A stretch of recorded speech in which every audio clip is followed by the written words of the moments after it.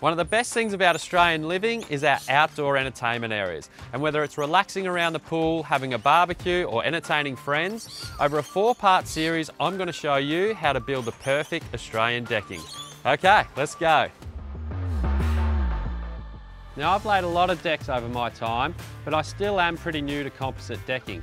But over the length of this project, I've got to tell you, I am impressed. The Trex product is a premium deck. The colour patterns are really realistic and so are the grain patterns that go within each board.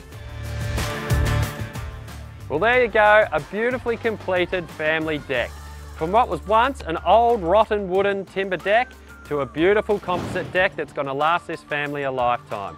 It's been an absolute pleasure bringing this series to you on how to build your great Australian deck.